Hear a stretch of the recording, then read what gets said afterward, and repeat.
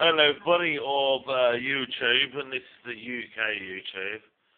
This is my Losi 8T. It's an RTR kit. So it comes with everything.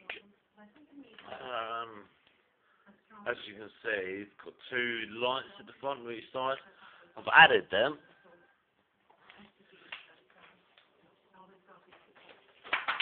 With simply the Losi light.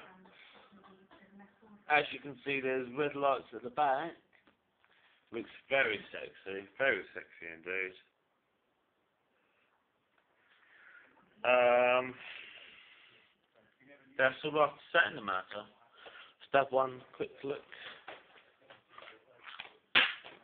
Oh no, that's the four-in-one multi-driver. That's the front of the car. Obviously, different angles gives you different light shine. And that's it. Thanks so much. Good night.